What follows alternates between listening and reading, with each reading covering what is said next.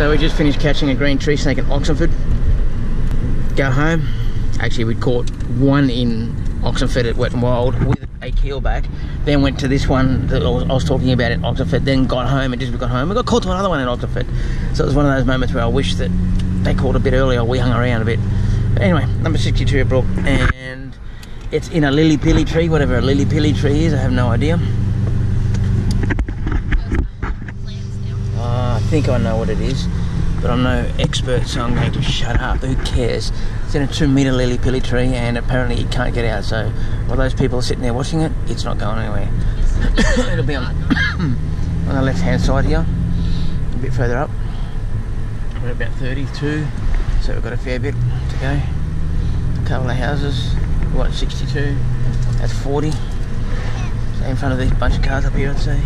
It's 44.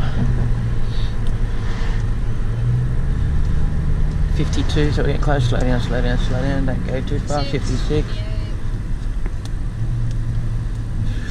And if it's this one here, we've done that carpet before. 62. Yeah, boom, just go. Are you coming in? I may as well. Well, I've popped the booters. You gonna come and help, Dad?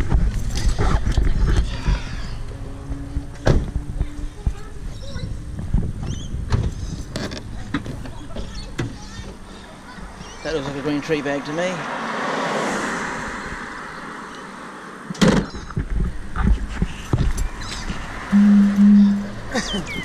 Not detailed the car today.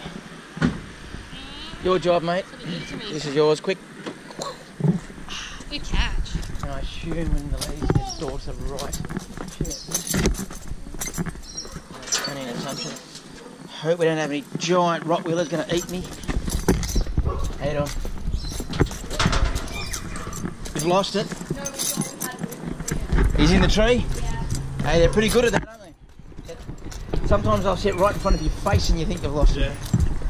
I've only been looking at it for the last half an hour. Yeah. I've only just seen it. Yeah, no. It's embarrassing when I sit there spending ages. There's a car with. Is that very easy? Yeah. in Okay, this so it's. tree on the Yeah, air, so- the lily pilly. Uh, so Sorry. There's a. Uh, so it's basically it's, it's- it's high as high up as you can get almost. Uh, on the furthest back on this first tree. Um, it looks like a branch, a real thick branch at the top, but it's um, it's got scales. well, it's got um. Sorry. Oh, Sorry, it's nice and slippery down wear here. down. Oh, watch, watch his head. Yes. Can you see it yet, or you got it? Yeah. Oh yeah.